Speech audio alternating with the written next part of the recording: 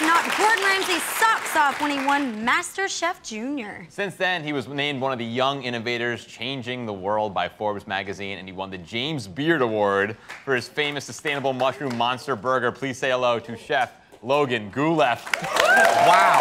Thank you. What's it like to be such an accomplished chef at such a young age? 15? You know, I, I really started taking off when I was eight. I'm 15 now. And so revisiting all those recipes and being like, well, I was so much younger then. My, my palate wasn't quite where it is now. And now I need more smoky. I need more savory. I need, I need a sweeter element in this. And just really recreating those dishes. That's You're unbelievable. passionate about cooking. oh, man, I love it's cooking. amazing. It's just the most fun. It's so cool because I mean, you meet other. I mean, James Beard Award is the award for cooking. It's like- it's like the Oscar, like you win the Academy Award. Mm-hmm. When you meet other James Beard Award winners and you're 15 and they're like been doing this all their life, are they kind of like, hey, you little whippersnapper? like, are they like, do they embrace you or do Um, they? well, every chef has a test, and so like really, like cracking the test and beating it and showing them, well, I am a real chef. I really do cook. I really know what I'm doing, and I really love it. it. Is always like fun. And I've tried like everything. I've tried from coffee to like uh, the temperature of a sauce to like what dish is better. They've tried everything.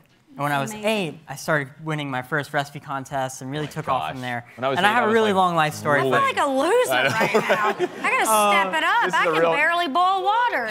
You're gonna show me how it's All right. done, though, right? So what are today we, are making? making uh, roasted beet toast. So uh, right over there, Ben, you've got your roasted beet. How I dress it. You want to wrap it in tin foil and then roast it. So now you can open that one up. Now getting rid of the peel is really, really simple and easy. You just simply just like take your paper towel and just wipe, Wipe it, it off. off. Just wipe it off. So just wipe it off like this? Yeah, yeah, just go like that. You know, Yeah, it should really come should. off real easy. And Oh, just peel it off, Ben. you know, just Well, just get in there. Don't worry. did we Well, that, that's just a trivial we're step. gonna Clean the Put beets. We're- we're- we have cleaned the beets. All right, the, the beet's clean. Skin is removed. You got clean All right, beets. so now we're moving on to our gastrique. Gastrique. Gastrique. Yeah, what is it? So, What a is- gastrique. uh-oh? Gastrique. Gastrique. Gastrique. Uh huh. So it's a French mother sauce, equal parts vinegar Okay. to sugar. Now I'm using honey. All And now this is this is the dangerous part, so you might want to step back a little. Ooh.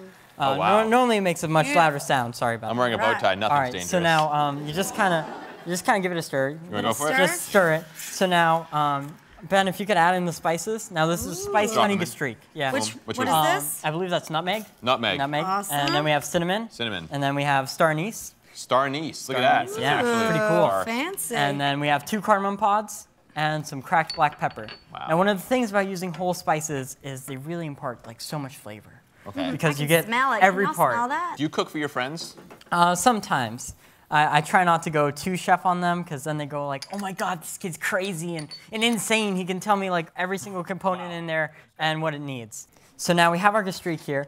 Now you can see Interesting it's, consistency. it's thicker. You just cook this down until you get it to the thickness you want. And also another key thing is it should coat the back of a spoon. It's another cool Oh, thing yeah. about sauces is it should coat the back of a spoon. And there we go. Now we've done that. Amazing. So we can move down. Oh. Now, this is step two.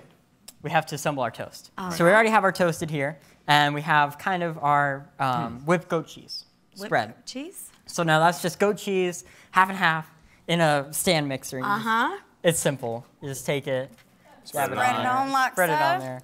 You know. So now do you want to finish, and then You you just layer on your beets. So now. Right. You spread all little bit layer. on there. So now you just kind of layer them like one after another. You can see you kind of do like a little design. Kind of layer them like fish scales almost. Okay. Uh-huh. Oh, there you Beautiful. go. That, that looks nice. great. Nice. So now we're gonna swap that out for the ones that we've already toasted. Now, how do you come up with your recipes? Uh, how do I come up with my recipes? Well, I really, what I do is I start with my objective, which is to make something delicious, and then I go to the market and uh, just kind of shop it out. Put it all together. And Yeah. probably invent things while you're in the kitchen. Oh, of course. Yes. Of course. When you're combining flavors Uh-huh. and combining textures, that you're making your own masterpiece. Absolutely. And the, a chef is really an artist. So Yes. my art is not the art of plating; it's the art of flavors. Ah. Absolutely. And art of really flavor. getting there. That's your, the name of your first cookbook, Art of Flavor. Uh, actually, my first cookbook. Never mind. I already have one. So I like you. thank you.